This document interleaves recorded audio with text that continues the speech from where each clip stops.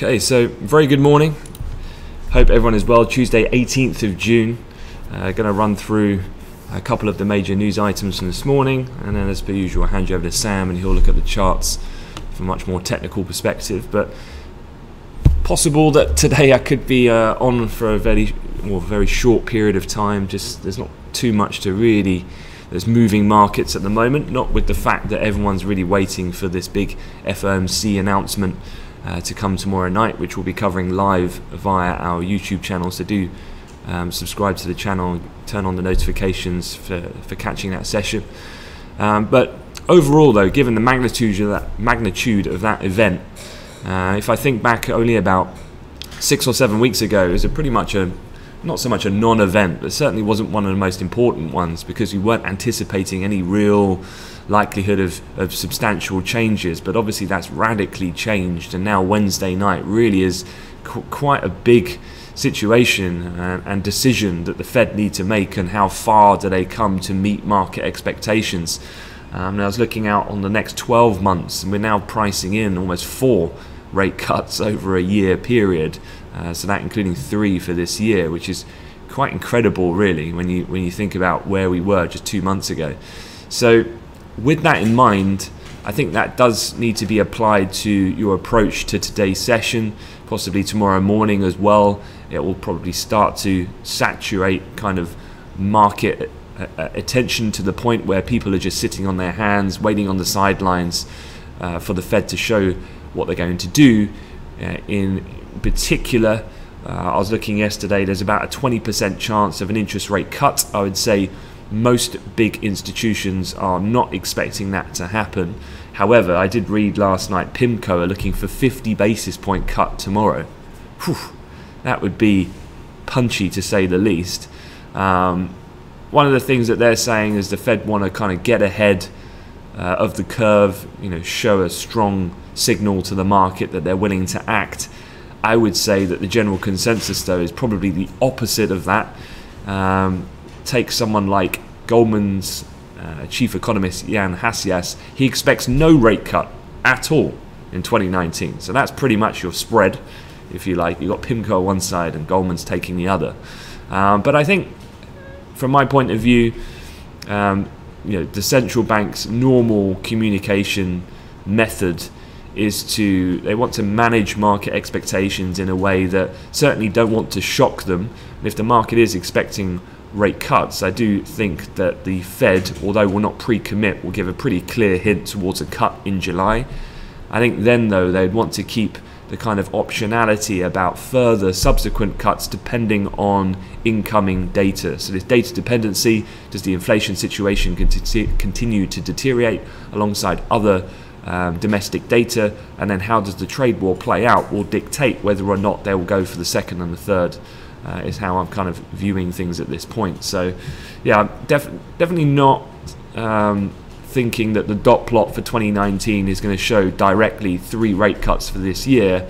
I think they'll use the form of verbal communication in the press conference, uh, potentially in the statement, uh, to signify the fact that they remain open to that as a potential route but not committing to it so definitively as dots on the matrix, so to speak. So, as I said, net net, as far as today is concerned, and I think it will carry through into tomorrow, you've just got to be a little bit, uh, I guess, uh, aware of the fact that markets are probably likely to be potentially a little bit range bound, uh, a lack of commitment or follow through into real directional play until we get into the second half of the week. So, I guess a little uh, bit of discipline uh, is of the order because the best opportunities likely might come the second part of the week overall. Um, quick look across the board then, pretty mixed Asia session. Nothing really too spectacular to talk about. Just having a look at the charts at the morning, the DAX just coming down towards, I can see here Sam would have had marked up the lower bound of some of the end of last week's price action, so maybe worth just keeping an eye on at 12,050 level um, in the DAX. Otherwise, US indices, as I said, pretty range bound. Um, WTI crude coming back down to test, it looks like the low of yesterday's session that we saw uh, yesterday evening US hours. So uh, just keep an eye around there, around 51.80. Uh, Treasury's pretty flat. Gold minor positive comes amid a slightly softer dollar. Dixie down about uh, 0.14%, and that's helping elevate slightly uh, the major currency pairs. Uh, you can see here euro dollar coming into some near term resistance around this R1, which coincides with the high point from yesterday's range. Uh, cable, I guess, a little bit of a pullback from the depressed move yesterday. I think it was was it a multi-month low. This market still kind of bedding in this prospect of a Boris Johnson-led uh, Conservative Party. Um, moving on though to the headlines, I'll let Sam go over the charts in more detail. This is a couple of things just to cover off. Uh, one is obviously we're coming close towards the expiration of the existing um, OPEC plus supply pact um, that's been in play and rolled over for some time. Uh, where we're at at this situation at the moment is about um, fixing a date as towards when they were going to meet because this did get delayed. It was originally penciled in for June. It was then uh, lights of Saudi and some of the other major producers have talked about doing it in early July. Uh, and now Iran has said that they can't actually physically make that meeting. They'd prefer more, I think it was the 12th, 13th, basically the second week of July. And so at this point, it's still a, uh, we haven't got yet a definitive date. But this obviously is important um, because the more this drags out, then the closer we get to potentially the lapse of that deal, and that would be worst case scenario for prices.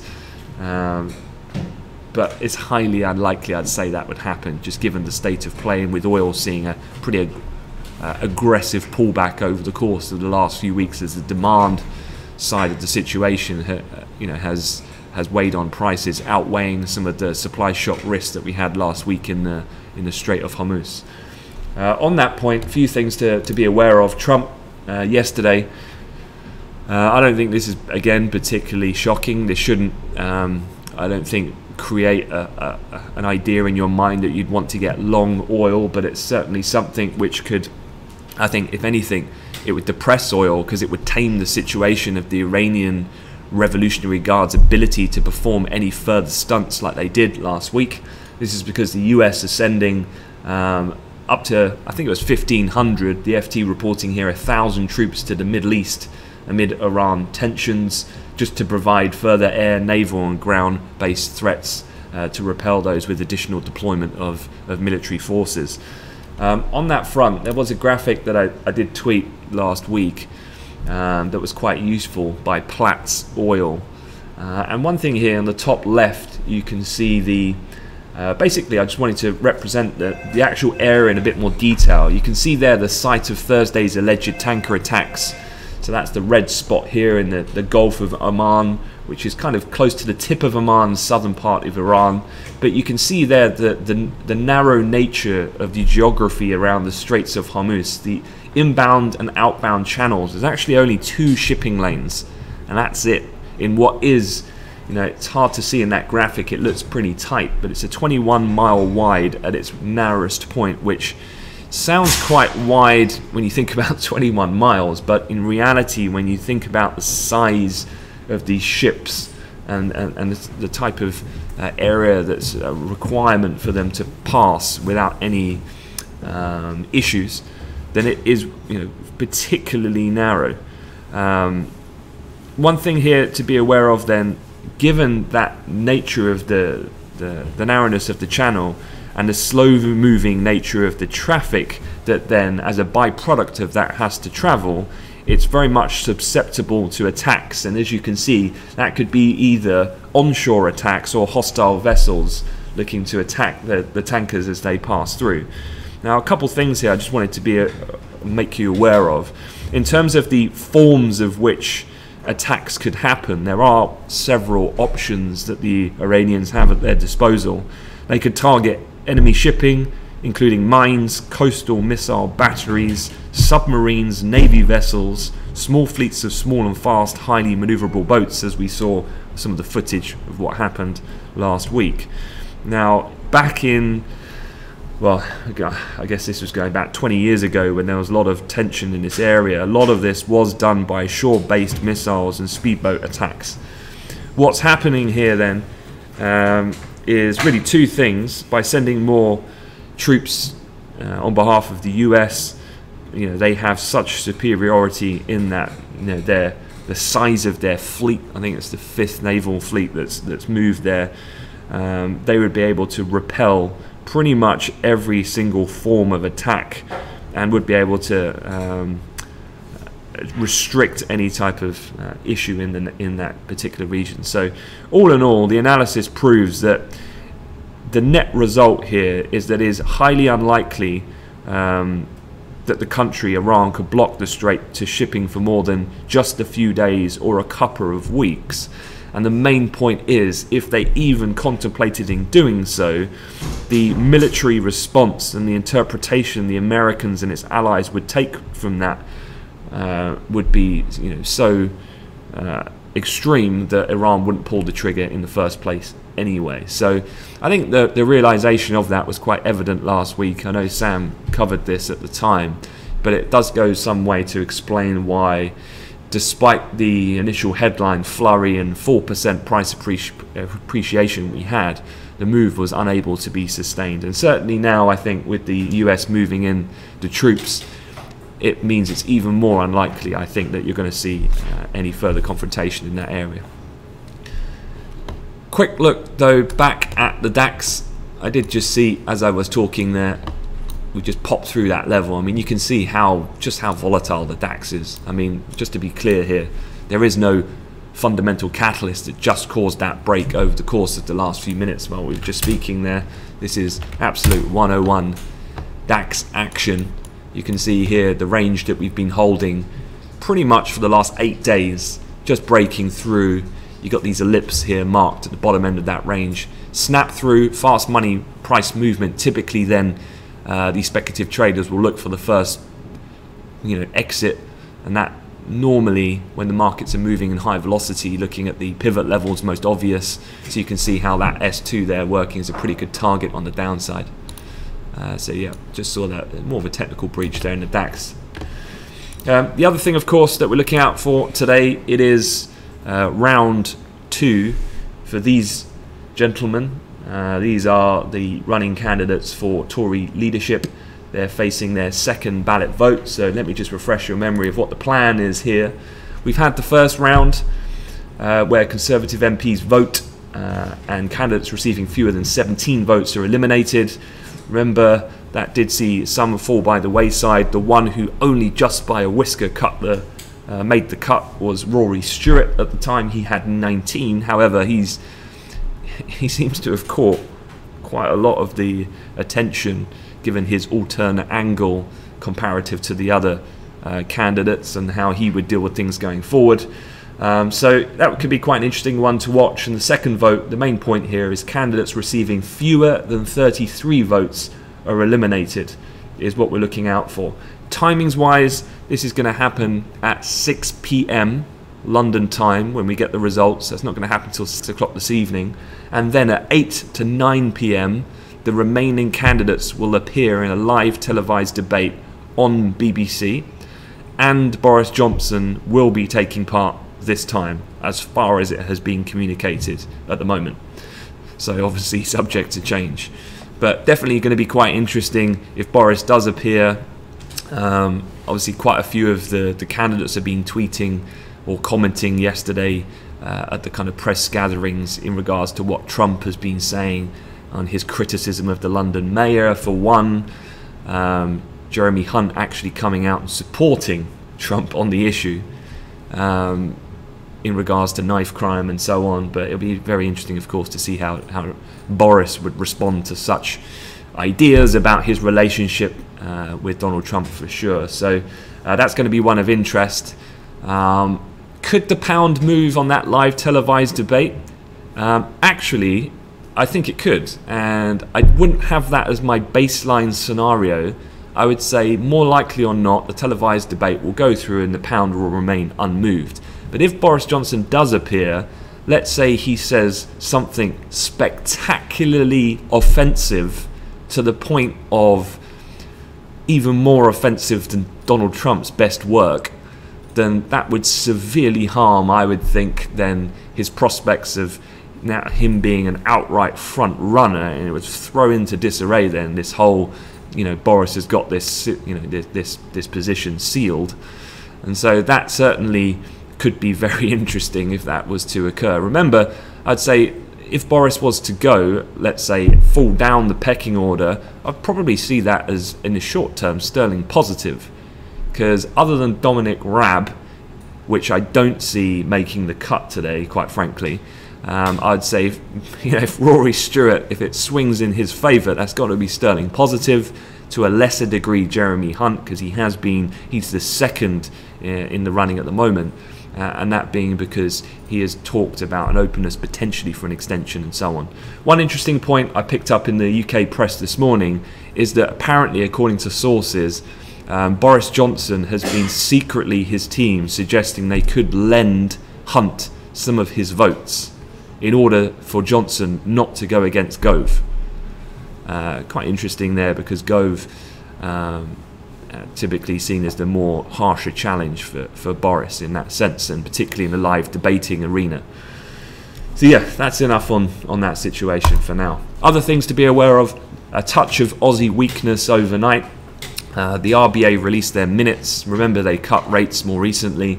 They've said further rate cut more likely than not in the period ahead. Um, the other headlines we've had are China's US Treasury holdings sink to lowest level in two years. Um, as you can see, Treasury market hasn't blinked, and rightly so. I'm bringing this headline so you're aware of it.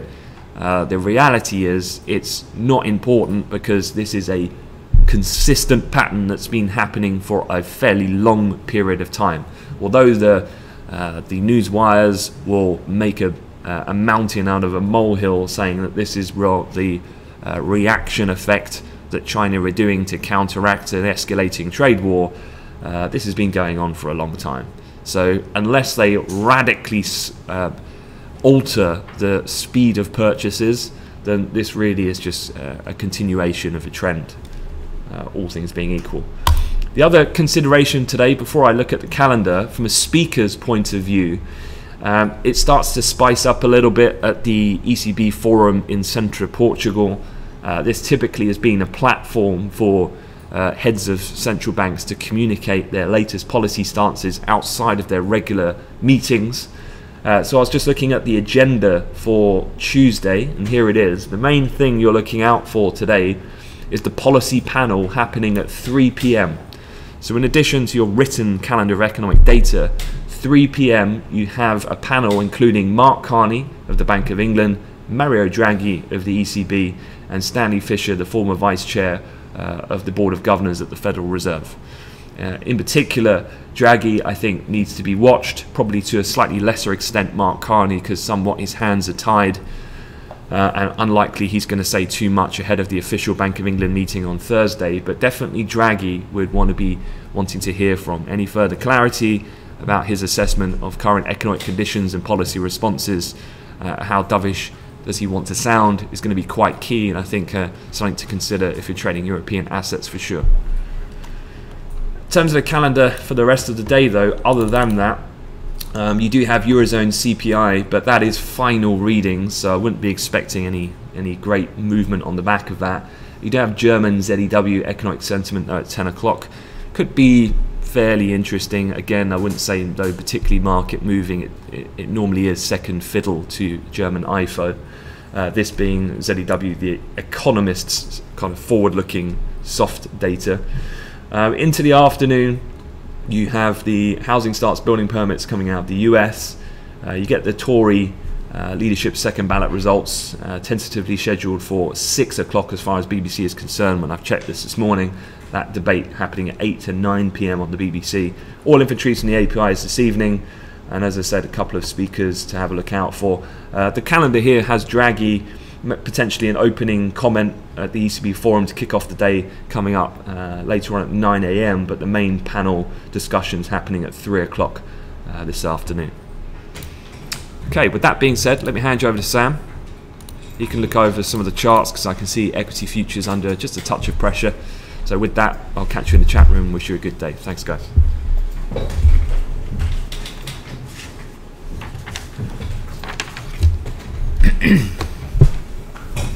Hi guys, hope everyone uh, is doing well. Yeah, you can just see uh, across the middle of the screen here the DAX leading the way as uh, stocks in the US also falling. We'll have a quick look over S&P just to, to begin with. It's just touching uh, the S1 for the day. Uh, trend line starting on uh, the low that we had back on the 12th. Broke through overnight and I think really since then you've had a bit of a continuation to the downside. You can see how well that was respected from uh, from the beginning of the day on the on the 13th, I should say. Sorry uh, rather than the, the 12. But we have broken through, and, and since then it has drifted lower. Uh, to the upside, uh, you can see that breakdown from the previous low of today, 28.95. Uh, three quarters, obviously a key level.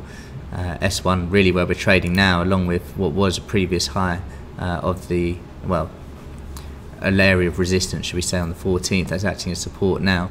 Uh, as a as a pretty, pretty key point. If we were to uh, to push through that S1, really would be the next uh, level or key level to to to, uh, to have monitored on on the charts. You can just see looking at the previous lows, all from uh, the 13th and then the 14th throughout the morning and afternoon. Pretty big zone um, to to have marked up on the chart. To the upside, you can see if this trend line was to get uh, retested, we would be looking uh, around really 2900, which has offered uh, pretty good resistance over the uh, the last few trading sessions. We have chopped through it a touch, but it is also the high of the day to the tick uh, today. So another point I would have marked up on the chart. You can see near that that high, uh, 28.95 and three quarters key. Really the low of the day, important now, and of course any previous lows that we have broken through uh, to the upside uh, to offer possibly some resistance. We'll keep an eye obviously on the the DAX and other equity markets. So they're just having a bit of a breather. Uh, the pound yesterday, uh, new lows for, well, certainly for uh, a few weeks, other than that flash crash low that we had back on the 3rd of Jan. Nice break here of this trend line. Didn't really get the retest, but straight break through and really have drifted lower since then. Um, obviously, to the upside, we'd be having uh, uh, a look at the previous lows or any of the highs of the day is to a point to, to get in as a resistance uh, for a drift lower. As sentiment definitely favours this market um, to the downside you can see just again looking longer term just how low we we are and actually we are now obviously quite consistently here on this uh, this daily chart combining all the futures contracts we are now below uh, that uh, that point. And really we're trading at levels not seen since the beginning of 2017 so pound under significant pressure still uh, sentiment uh, not improving as of late. Having a, a, look at the euro obviously the the double bottom that we've had uh, at the beginning I should say the middle part of, of this month so not too long ago along with this Thursday the 6th I think it was uh, has offered quite good support. We're keeping uh, a watch on this. If we were to drift lower uh, below here this is when it might start to get interesting. Really be looking here probably at the uh, the Wednesday of this week with the Fed coming into into play there. Um, trend line you could have marked up from yesterday's lows. We just have that drawn up this might be something to have marked up on the chart uh, going into uh, the remainder of the session break of that and then uh, we could perhaps get uh, a further further push to the downside. But at the moment, we are having a bit of a, a recovery. The dollar under a, a, touch of pressure, obviously not really helping the pound too much. Uh, to the upside, yesterday's high and, and um, uh, previous lows from Friday areas to have marked up. Uh, 113.33 uh, on the, the, the Friday low before that breakdown, and a few ticks below that yesterday's high as well. R1 in the uh, in the mix now as well. Uh, just a, an area to have noted. Looking at the Aussie dollar, you can see we have been drifting lower. Those uh, um, dovish comments from the RBA have only helped matters push to the downside despite a weaker dollar. Again, looking here at the longer term chart, you can see just how low we are and actually just have touched on the futures and just touching again the low of the year for, for the Aussie there. Way to look at this, either break uh, of that uh, le level uh, 68.50 or, or, really looking at any retracement points previous lows or, or uh, areas where the sellers have just come back in to look for that to happen again uh, wouldn't be too surprising to have an opportunity or two in this market as we are just hitting those lows again. The yen this morning supported. Uh, we were talking yesterday about just the importance of, and again I'll just put this on the longer term chart, just the importance of uh, what was the previous high, the 13th. A couple of tests of that, another one yesterday morning, held really well, and we have pushed higher since breaking out uh, of the range yesterday uh, early this morning around 2 uh, a.m. We have also found quite good resistance initially on uh, what was the lower Friday morning, uh, uh, as in today as well, only to, to break through that. Gold is very similar uh, to this market um, in that we have sort of broken above its uh, range from yesterday. and also for the yen, just keeping an eye on the top end of this range, which is really the, the high that we had back on Friday.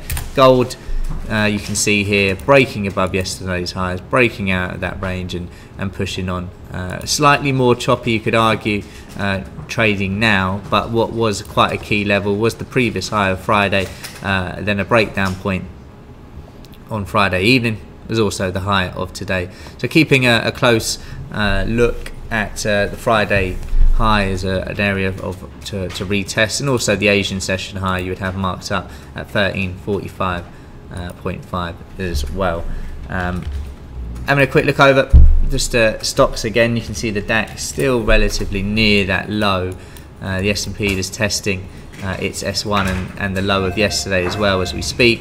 Nasdaq just looking pretty similar in that we uh, the area we, we were testing last night uh, as an area of support is being tested now uh, as well. Oil just under a, a, touch of pressure. You can still see the importance really. I'm just going to drag this wider uh, of around here 51.79, 51.80, 74. Quite a key level of support uh, that I would have marked up.